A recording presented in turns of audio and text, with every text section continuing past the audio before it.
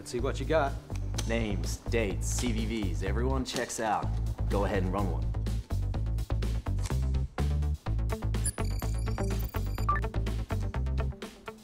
How many? Every card solid gold. Or platinum, right? Where did these come from? What do you care? Your job is to sell it, not smell it.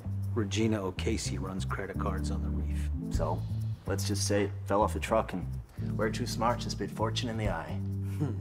Well, if that's the case. Lucky for you, I already have a buyer to take this off your hands. How much? You'll be blown away by our offer.